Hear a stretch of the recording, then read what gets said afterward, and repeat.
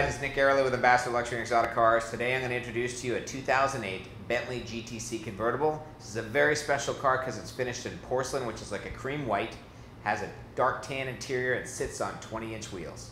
Once you open the door on this GTC, you're going to appreciate the well-preserved condition of the interior. The interior is finished in a tan with a chocolate secondary hide with deviated stitching. Car has the wood wheel to match the extended veneers, satellite radio, and massaging seats. Again, this is a 2008 Bentley GTC convertible. It has only 28,000 miles and it's finished in very special colors, which is a cream white with tan leather interior.